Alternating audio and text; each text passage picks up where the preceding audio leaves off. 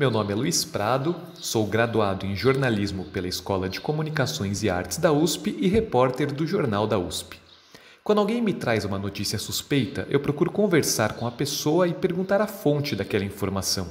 Se for possível, como no caso de um parente ou amigo, checo junto com a pessoa os dados apresentados e procuramos juntos também contrapontos e fontes confiáveis.